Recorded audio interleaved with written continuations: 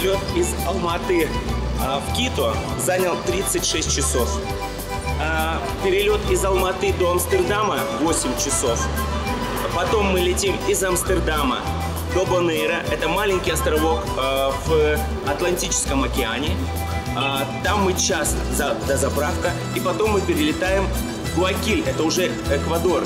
И с Гуакиля, высаживая пассажиров, мы летим дальше в Кито. Вот это Кито, где мы сейчас находимся, и 36 часов перелета, это, конечно, тяжело, но это стоит того, потому что уже подлетая сюда, утром на рассвете, освещенные горы, потом город вот этот в лощине, аэропорт в центре города, это очень интересно, это захватывающе, и в конце а, я все-таки перед вылетом скажу вам, насколько мне понравился или не понравился, не понравилась эта страна, а, называемая Эквадор. Эквадор! Otra vez, otra vez. No me estoy tomando fotos por, por mi madre, le digo, déjense de huevada. А я в это время жду вестей из Эквадора. Ах, Гриша, Гриша, путь твой долг, а планы грандиозны. Познакомиться со страшными аборигенами, пройти по дороге инков, а инки народ воинственный. Намочить свои казахстанские ноги в их тихом океане и узнать, возможно ли воочию узреть экватор. Экватор. Воображаемая линия пересечения с поверхностью Земли плоскости, перпендикулярной оси вращения планеты и проходящей через ее центр. Ого, что-то я запуталась. Ну и ладно, всему свое время. Итак, первая остановка на пути к экватору – город Кито. Как утверждают энциклопедии, город Кито – столица, а также политический, экономический и культурный центр Эквадора. Назван по наименованию древнего индейского племени Киту. Эквадор – это страна, которая принимает сейчас туристов не как страна закрытая, а как открытая для всех. Здесь можно подумать о вылете в Эквадор за час. Лететь сюда без виз, без заказывания заранее гостиниц. А от аэропорта до гостиницы максимум 10 долларов и так далее. Да, что может быть приятнее для нашего туриста, чем отсутствие виз и возможность выбрать любой отель. Тем паче, что сделать это не просто, а очень просто. Говорят, что отелей в Кита множество, на любой вкус и кошелек. Разнообразие отелей в Эквадоре поражает. Отели от больших пятизвездочных до маленьких и маленьких. Но мы выбрали скромный четырехзвездочный отель, который в принципе находится в очень хорошем районе, который мы сегодня посетим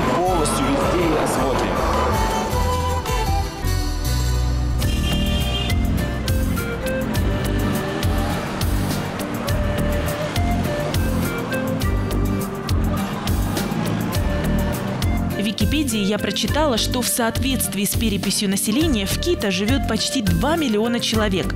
По национальному признаку население столицы Эквадора многообразно и довольно смешано.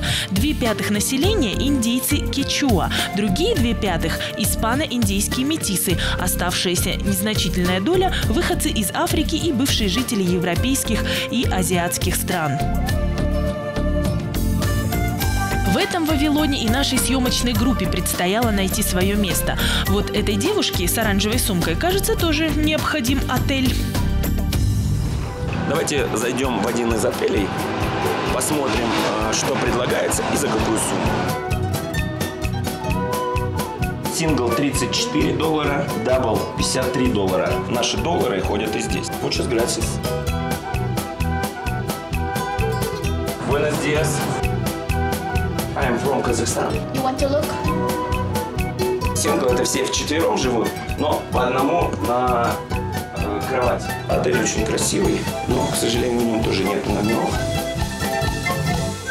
Gracias. Даже без всяких открыли и все. Price and uh, brochure. No, all English. Тогда на испанском. Brochure and price. На русском. Money, money. Все, ну пойдем дальше. Посмотрим, что у нас еще предложат. Далеко не все отели могли принять съемочную группу. Но сюда не пускают. Здесь у них, видать, секреты какие-то есть. Вот и верь после этого в эквадорское гостеприимство. А эта оранжевая сумочка мне уже не нравится, потому что попадается на глаза не в первый раз.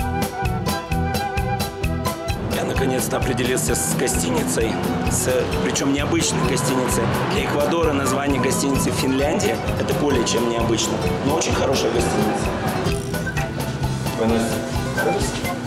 Ah, número ah, uno, uno, cuatro. Sí, está aquí. Gracias, muchas gracias. Наконец-то отель выбран. Да, Григорий, только ты, горячий русский парень, мог выбрать отель с феерическим названием Финляндия. И где? В Эквадоре. Раньше наш отель назывался иначе, но дела шли не очень хорошо, и после того, как у нас остановились большие белокожие и голубоглазые парни, вот такие, как вы, дела пошли на лад. Мы спросили, откуда они приехали. Оказалось, что из Финляндии. Так мы и решили назвать наш отель. Что же в отеле исконно финского, кроме памяти о горячих скандинавах, мне понять так и не удалось. Зато мы разгадали, почему отели заполнены практически под завязку, но об этом в нашем следующем сюжете.